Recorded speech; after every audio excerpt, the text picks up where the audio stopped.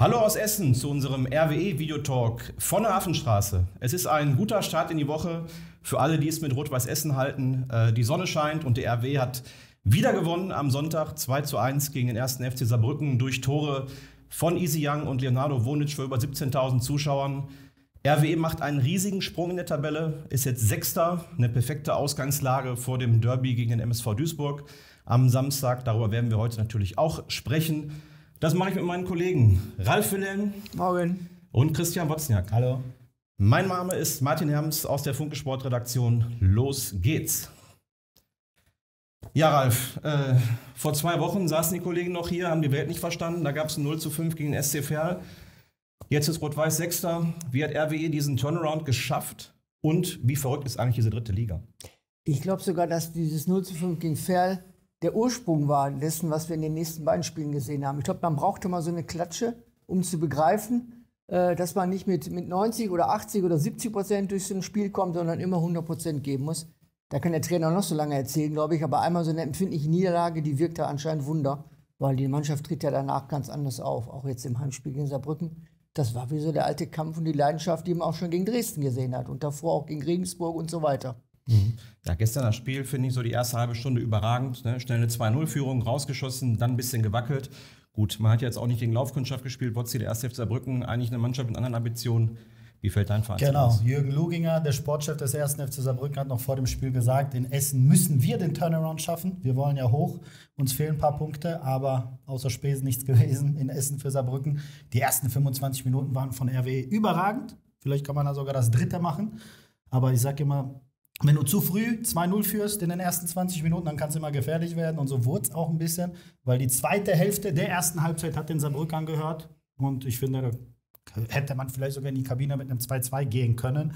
Ähm, da waren die am Drücker auch die ersten 15 Minuten nach Wiederanpfiff, aber ohne zwingend zu werden. Ich finde, RWE hat das sehr gut gelöst, hat äh, keine Großchancen zugelassen und allen voran die stabile Abwehrleistung ist hier ähm, zu nennen. Und ja, der überragende Abwehrchef Felix Götze, ähm, er hat Daniel Heber längst vergessen machen lassen, finde ich. Er macht das überragend, egal ob er neben Musti Kuruma spielt oder neben Rios Alonso wie gestern.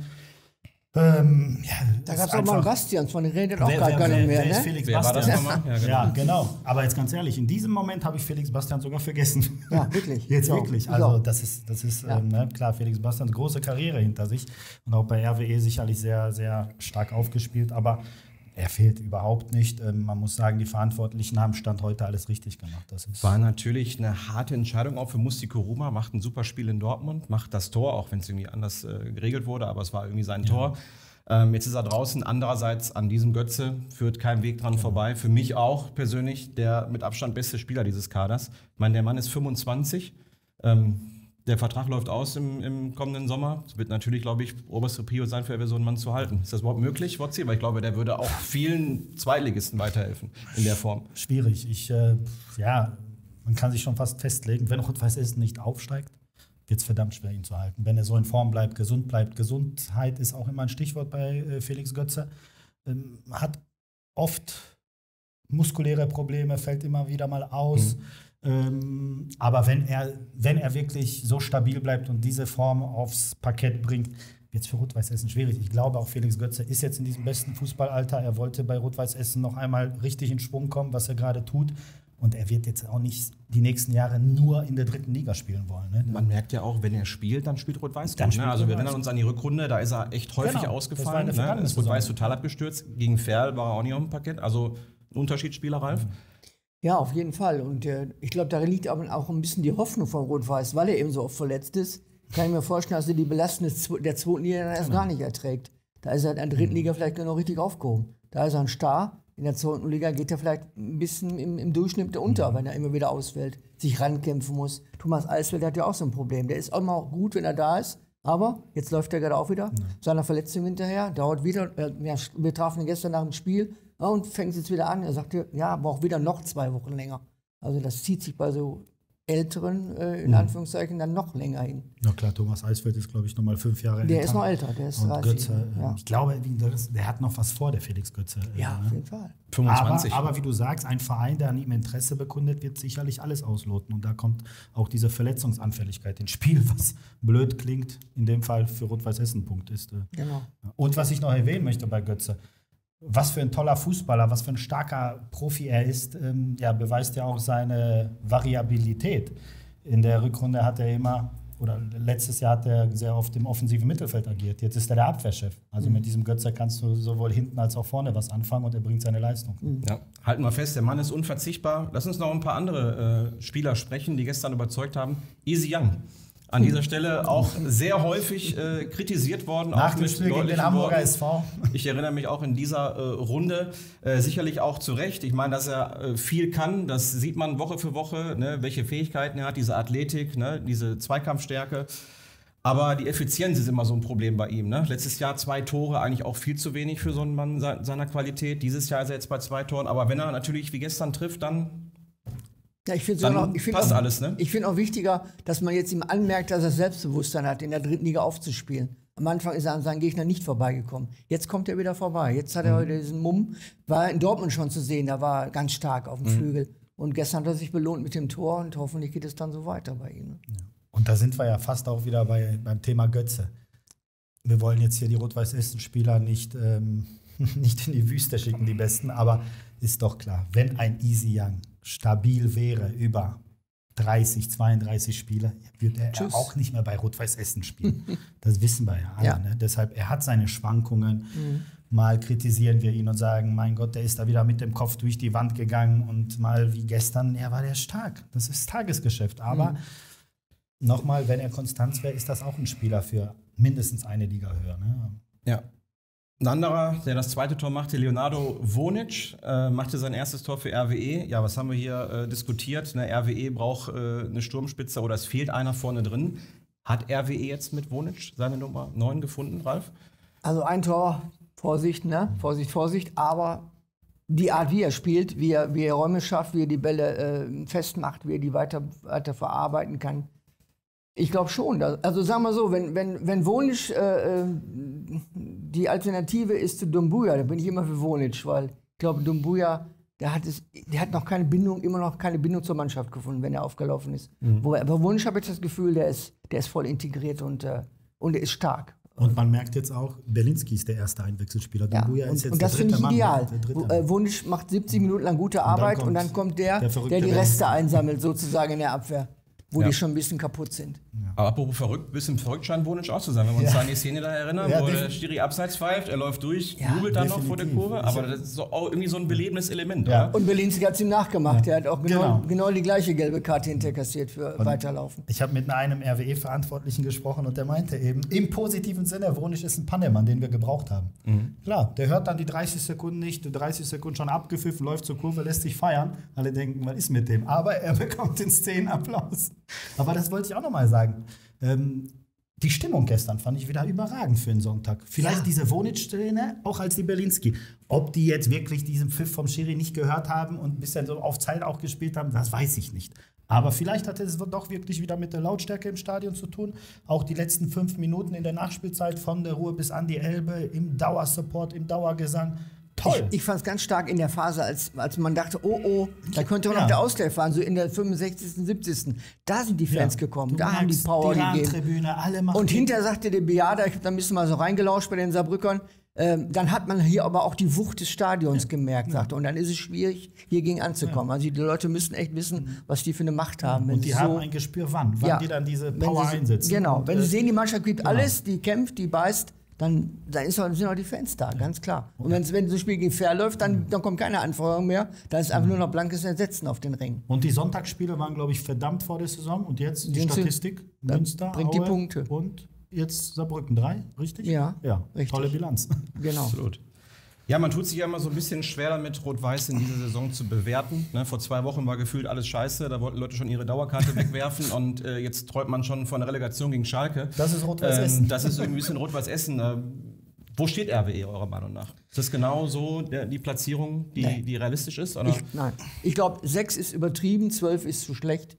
Ähm, mir sagt ein sportlich Verantwortlicher, wenn wir dieses Jahr als Neunter einlaufen, dann haben wir unseren Job gut gemacht. Einstellig, ab neun, alles nehmen wir mit, was da drüber kommt. Aber ich würde auch so sagen, achter, neunter Platz, da gehört die Mannschaft hin. Ich kann mir nicht vorstellen, dass manche Mannschaften, die jetzt unter Rot-Weiß stehen, am Ende da auch noch stehen werden. Sandhausen, ja. Bielefeld. Da kommen noch einige. Ja. Viktoria Köln hat auch gerade so eine komische Phase und so. Also da sind schon einige Kandidaten dabei. Ich bin bei dir, Ralf, aber mit, mit einem Aber. Ich sage auch, RWE zwischen 8, 9 und 12, da gehören sie hin mit diesem Kader. Aber ich habe mir vor diesem Talk die Tabelle nochmal wirklich äh, ich studiert und ich sehe, Dynamo Dresden, Tabellenführer, zwei Niederlagen, ähm, Regensburg eine Niederlage und danach ab Ulm bis zum Tabellenletzten MSV Duisburg jeder mindestens drei Niederlagen nach zwölf Spielen.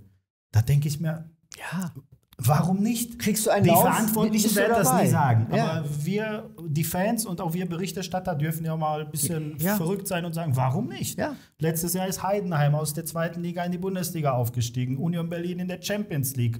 Ähm, Elversberg steigt aus der dritten in die zweite auf. Warum nicht Rot-Weiß Essen? In der Regionalliga West führt jetzt der erste FC Düren in der Tabelle. Also Fußball ist verrückt. Darauf bisschen, bisschen träumen und, soll ja mal erlaubt sein. Es ähm, muss einfach diese, diese da sagt auch ein Verantwortlicher immer, dann kommen wir vielleicht gleich auch zum MSV-Spiel. Das hat RWE ja auch noch nicht gewonnen. Du musst ja. jedes Spiel, wie du gesagt hast, Ralf, diese Gier und Galligkeit in dieser ja. Liga haben. Weil es ist alles auf Messerschneide. Alles, alles fast 50-50-Duells. Ja. Die dritte Liga kannst du ja gar nicht tippen Total. oder so. Und du musst eben die Spieler, die, du, die wichtig sind, die müssen gesund bleiben. Die müssen, das ist, Fallen zwei, drei aus, musst du wieder neu Kader ist natürlich ein bisschen dünn. Da kommen wir wieder irgendwie auf Stichwort Transfers zurück. Christian, du hast in der letzten Woche mit ein paar Verantwortlichen gesprochen. Ähm, ist denn grundsätzlich was möglich im Winter, den Kader nochmal zu verstärken? Ja, es ist was möglich und auch erwünscht, auch vom Trainer. Ähm, und so wie ich gehört habe, die beiden Namen, die schweben da immer noch irgendwo im, im Hintergrund. Man beschäftigt sich wohl damit mit, äh, mit Jona Niemiec, dem Stürmer von Fortuna Düsseldorf und Tim Oermann vom VfL Bochum, die da bei ihren Vereinen nicht zum Einsatz kommen, beziehungsweise Niemiec. Niemiec kam jetzt wieder äh, rein. Ne, genau, hat jetzt, glaube ich, in sieben Spielen 70, 80 Minuten gespielt. Oermann noch gar nicht, kaum im Kader gewesen. Ähm, RWE muss ja was machen, finde ich, weil du kannst, du haben, die haben jetzt 20 gesunde Spielerstand ja. heute, beziehungsweise äh, Rota ist noch zwei Spiele, glaube ich, gesperrt oder ein Spiel? Eins. Eins gegen Duisburg, ja. Und dann Celebi, das, ja, ich hoffe nicht, dass das ein zweiter Fall Michael Niemeyer wird. Ähm, mhm. Kommt überhaupt, man weiß nicht so richtig, was er hat. Mhm. Er hat schon eine OP hinter sich, wird trotzdem nicht besser. Dann hast du noch Eisfeld, hat Ralf gerade angesprochen, noch ist zwei auch, Wochen. sollte fit sein, jetzt wieder zwei Wochen. Ähm, Fabian Rüth, ja, bei allem Respekt für Fabian Rüth, den kann man eigentlich nicht so richtig mitzählen. Mhm. Er hat einen Vertrag bei RWE und ja, aufgrund des Kreuzbandrisses hat man ihn dann nicht in die Wüste geschickt, sondern er soll erstmal gesund werden, aber er ist eigentlich so ein Kaderspieler in, in, in Klammern. Und ja, da darf nicht viel passieren. Felix Bastian suspendiert, ähm, Lukas Brumme, wissen wir jetzt nicht, was sein wird. Ich mhm. denke. Oberschenkel. Bestimmt zwei Wochen. Muskulär. Ich, ich, hoffe nicht, aber bestimmt. Dann ziehen gespürt im Oberschenkel. Genau. Und ja, da muss am besten ein für die Verteidigung. Ja, und Dumbuya, Berlinski, Wonic, ja. alles super. Beziehungsweise Wonic aktuell, Dumbuya, Berlinski nicht alles super. Die hatten ihre Chance. Du brauchst einen Stürmer. Du hast ja, du bist als Tabellensechster, hast du, glaube ich, minus vier oder minus fünf Torverhältnis. 13 zu 17, ja, minus vier. Da siehst du ja auch, ja, du hast keinen Torjäger, ne? Also, ich habe von zwei bis drei Verstärkungen gehört, die man versucht, ja. im Winter klar zu machen. Wird auch viel davon abhängen, äh, was noch so auf der Sponsor Sponsorenseite genau. reinkommt. Der Alexander Rang muss da einen sehr guten Job im Moment machen. Der, der putzt Klinken hier in der Stadt, wo noch nie jemand gewesen ist. Geht auch an die großen Tiere ran und die Großen sollen durchaus, ich höre so einige Namen, äh, bereit sein, jetzt ein bisschen was zu machen. Und äh, wenn Sascha Pelljan den Kassensturz hinter sich hat und sieht, wir sind schwarz, wir sind gut aufgestellt und da kommt noch ein bisschen was rein in die Kasse, dann werden sie wahrscheinlich auch diese Sachen realisieren können. Das sieht gut aus. Lass uns doch mal, bevor wir auf das Derby am Samstag kommen, noch über eine Person sprechen. Christoph Dabrowski. Ähm, der Trainer, ich meine, wir kennen alle die Vorgeschichte, was da im Sommer war. Äh, auch nach dem Fairspiel kamen schon so die ersten Kritiker wieder aus, äh, ne, raus. Ähm, Jetzt läuft der Vertrag von ihm aus im kommenden Sommer. Sollte RWE zeitnah mit ihm verlängern? Die Frage muss man jetzt eigentlich stellen, weil wenn man von seinem wichtigsten Angestellten voll überzeugt ist, dann fängt man normalerweise immer so ein halbes Jahr vorher an mit den Gesprächen. Wie ist da der Stand, Christian? Und sollte RW überhaupt mit ihm genau. zeitnah Ich finde die Personale Christoph Dabrowski, ja, manchmal kommt die aus vielleicht so ein bisschen zu wenig, ähm, ja, zu wenig positiv heraus, weil dieser Mann, der hat wirklich, der hat links und rechts Ohrfeigen bei RWE schon kassiert äh, und gefühlt von, von allen Seiten und hat sich immer, immer irgendwie aus der ja, Scheiße rausgezogen, hat immer gezeigt, dass die Mannschaft hinter ihm steht in den wichtigen Momenten, hat die Ziele realisiert, hat den Niederrhein-Pokal gewonnen, hat den Klassenhalt geschafft. Ähm, ja, jetzt, jetzt, jetzt, ähm, jetzt, jetzt verleitet die aktuelle Form sogar manche zu, zu Träumereien und ich finde, mehr kannst du aus diesem Kader nicht holen. Und was man nicht vergessen darf, die Spielphilosophie ist eine andere geworden. Wenn man immer im Fußball von Weiterentwicklung spricht. Christoph Dabrowski hat Rot-Weiß Essen weiterentwickelt. Das siehst du in den Heimspielen. Die machen Spaß, das Publikum geht mit. Dieses Wort Hafenstraßenfußball sage ich immer wieder, höre ich nicht gerne, aber das, das ist eine Art Hafenstraßenfußball, glaube ich. Mhm. Das ist Offensivpower. Letztes Jahr war das nicht der Fall. Mhm. Da war viel sehr stoisch, so langweilig, weiß ich nicht. Ne? Ich glaube, da, wollt, da wollte man so spielen. Am Anfang genau. ging aber die Hose und dann ja. hat man auf die Sicherheitsvariante und, gesetzt. Ähm, ja, sein Vertrag läuft aus. Klar, wenn man von ihm überzeugt ist, dann geht man jetzt im November in die Gespräche rein. Natürlich hat man da auch noch, noch die Jahreshauptversammlung am 19. November. Ähm, ja, weiß nicht, doch, das hat sicherlich auch nochmal was damit zu tun, welche Entscheidungsträger es in Zukunft bei RWE geben wird. Aber so wie ich heraushöre von den Protagonisten, ähm, ja, die Gespräche gab es noch nicht offiziell in großer Runde. Aber ja, die werden sicherlich jetzt stattfinden und ähm, die müssen auch stattfinden. Weil ich bin, da, ich bin davon überzeugt, sage ich zum Schluss. Ähm, ich lege mich mal fest, Rot-Weiß Essen wird Christoph Dabrowski in seiner Amtszeit nie entlassen. Wenn, dann wird Christoph Dabrowski zu einem anderen Verein gehen. Wie stehst also, du zu der Personalie? Also ich, ich, finde, dass Christoph Dabrowski dem Verein gut tut, weil er kommt mir manchmal so vor wie so ein großer Tanker, der sich nicht viel bewegt äh, und in dieser Sturmflut, die bei Rot-Weiß immer wieder rumtobt, einfach Kurs hält. Der geht unbeirrt seinen Weg. Was hat der? Der war die ärmste Sau im Verein in der Zeit, wo wir wollen die ganze Sache nicht aufräumen. Mit Novak, mit der Randgeschichte, mit dem amorösen Andere Sache. werden durchdrehen. Äh, mit der, mit der Wahnsinnshauptversammlung. Und, und er ist sportlich einfach seinen Weg gegangen. Und das, das muss man einfach honorieren, glaube ich. Und wenn man sieht, der ist auch gar nicht so ruhig, wie man immer so denkt. Wenn man, wenn man darauf achtet, wie er seine Mannschaft immer nach vorne mhm. peitscht beim Spiel jetzt und immer wieder eingreift, der kommt manchmal wie ein zwölfter Mann, der ist fast dem mhm. Platz dabei. Genau. Ich finde den total wichtig. Man, man, spricht von Weiterentwicklung im Fußball, von Selbstreflexion. Und er hat die Mannschaft weiterentwickelt und auch sich reflektiert. Er ist auch anders geworden. Richtig. Und auch ein Mann, der ist jetzt 45 Jahre alt, hat fast 300 Bundesligaspiele, aber er ist klug. Er ist ein kluger Mensch und weiß, ja, vielleicht habe ich auch nicht alles richtig gemacht, aber seit dieser Saison ist das ein anderer. Ja. Zugänglicher. Bisschen mehr Nähe auch, ne? Näher, Dieses Ultratreffen genau. gestern auch wieder vor er der weiß, Kurve Er weiß, getanzt. wie das ja. Geschäft äh, funktioniert. Ja. Der sagt ja nicht, ach, die, wollt, die haben alle meinen Kopf gefordert, salopp gesagt, ich scheiße auf die, ich ja, rede nicht mehr. Er, biet, er, bietet ja. sich nicht an, das rechnet genau, ich ihm auch ist, an. Genau, der, der ist ehrlich echt. So ja. kommt er rüber. So Leute, Samstag ist Großkampftag in Duisburg äh, bei den Zebras. Da läuft es ja wirklich alles andere als rund. Ich meine, RW steht elf, hat elf Punkte mehr auf dem Konto. Ja. Bei Duisburg geht es gerade drunter und drüber. Äh, am Samstag die Pleite gegen Bielefeld. Ne? Die Fans haben den Support eingestellt. Ist so ein bisschen wie bei den anderen Blau-Weißen aus Gelsenkirchen aktuell. Äh, davor die Blamage im Niederrhein-Pokal gegen KFC Oerding und das alles mit neuem Trainer, Boris Schommers. Was ist los in Duisburg? Der Trainerwechsel ist ja jetzt schon verpufft, muss man sagen. Das ist so, wenn du gegen Uerdingen auch ein Derby verlierst, jetzt gegen Bielefeld. Ähm, ich will mir nicht ausmalen, was in Duisburg los sein wird, wenn die gegen Essen verlieren. Also der, man sagt ja mal, der Baum brennt. Eigentlich brennt er jetzt schon in Duisburg, aber was dann passiert, dann gehen ja gefühlt die Lichter aus. Ja, beim MSV, wenn man sich jetzt wirklich so den Kader anschaut, der MSV hat sich einfach verzockt. Marlon Frei, Julian Hetfer, Moritz Stoppelkamp, alle drei Leistungsträger der vergangenen Saison haben den MSV verlassen. Zusammen waren sie an 30 Toren beteiligt. Allein Moritz Stoppelkamp hat letztes Jahr sieben Tore erzielt und zehn Vorlagen beigetragen. Das sind 17 Scorerpunkte. Zwei im Derby. In 28 Einsätzen, zwei gegen Rot-Weiß Essen. Und die haben ihm keinen neuen Vertrag angeboten. Er hätte noch gerne ein Jahr gespielt in Oberhausen. Klar, eine Etage tiefer ist er wieder Leistungsträger, der Topmann der Regionalliga West. Marlon Frey ist ein, spielt bei 60 eine gute Rolle. Julian Hetfer hat man für 500.000 Euro verkaufen müssen wahrscheinlich, mhm. aufgrund der finanziellen Lage an Dortmund 2. Aber diese drei fehlen. Sonst hat man nichts verloren, aber diese drei eben und man merkt, es geht nichts. Vor allem nach vorne hin geht nichts. Der, der MSV hat sieben Tore erzielt und ähm, also das ist einfach eine Katastrophenleistung, was, was die Offensive angeht. Sie haben nur 15 kassiert und weniger als RWE. Ziegner, Ex-Trainer Ziegner hat schon immer gesagt, wir müssen die Defensive stabilisieren, aber ich glaube, der hat sich da so verrannt. Mhm das Offensivfußball Aber komplett ein angeschossener Gegner, Ralf, kann auch gefährlich sein. Ja, ne? das ist auch wieder so eine Sache. Aber wenn man so angeschossen ist und so auf dem Boden liegt, also wann will man beim MSV nicht gewinnen, wenn jetzt? Ne? Also ich glaube schon, ich bin eigentlich fast überzeugt von so einem schönen 2 zu 0. Die Abwehr wird stehen, Duisburg hat die bekannte Angriffsschwäche. Wer soll da eigentlich durchkommen? Aber Ralf, ich sag, dieses Spiel musst du eigentlich ausklammern. Es ist jetzt das dritte Spiel unter Schommers, Derby. Wenn der MSV dies RWE nicht schlägt, ja, dann sage ich ja, das ist ja für die so ein ums sportliche Überleben schon fast. Deshalb dritte Liga für mich ein 50-50. Wir Duell. werden das äh, mit Spannung beobachten. Die Mal schauen. 19.07 Minuten sind leider rum. Ähm, wir danken für das Interesse. Wir werden sehen, wie das Spiel gelaufen ist. Äh, am Sonntag treffen wir uns wieder hier zum Talk äh, nach dem Derby. Die, die aktuelle Folge könnt ihr wie immer nachschauen bei watz.de, reviersport.de, gerne auch auf unserem YouTube-Kanal. Äh, teilt das Video, abonniert unseren Kanal. Euch allen eine schöne Woche. Bis dann. Ciao. Tschüss.